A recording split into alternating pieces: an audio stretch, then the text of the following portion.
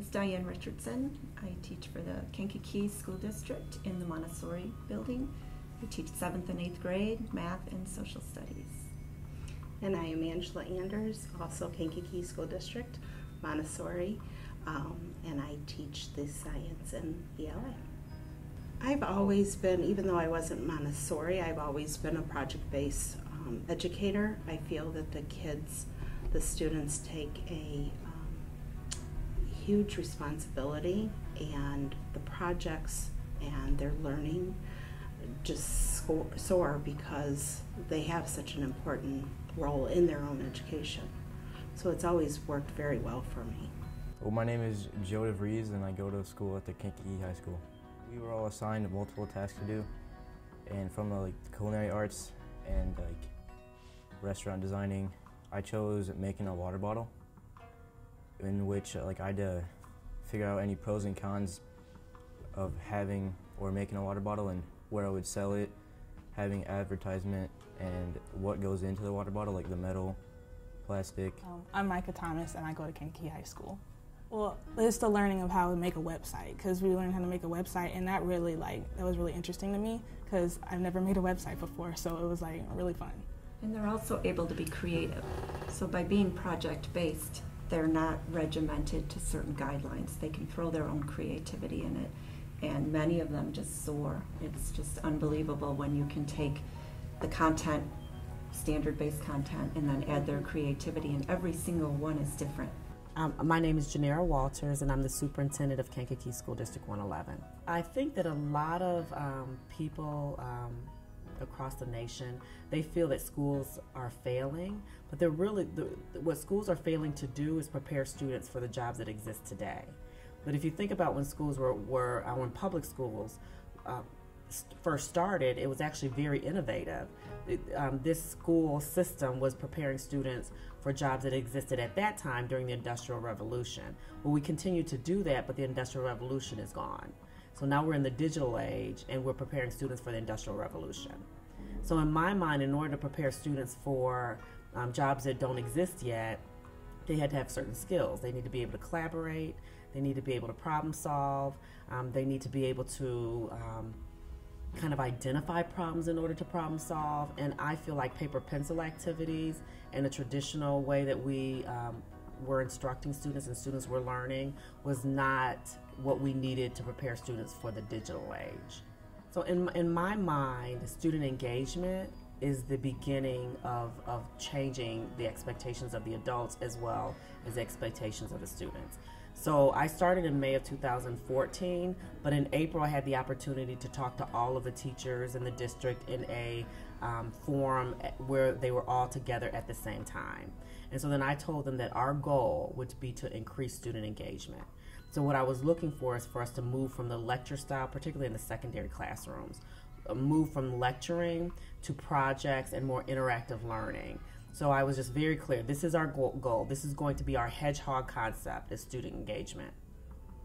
Last year, one of their STEM projects, for example, that they were doing was the culinary artist, and the vision that each one of the students did was different. My name is Adelaide Young, and I go to Kankakee High School. I'm Maylene Gaitan, and I go to Montessori Magnet Fine Arts. I had to produce a newscast, a newspaper article, a multimedia presentation, and a brochure. And I learned more things about how food gets transferred to one place to another to make the food.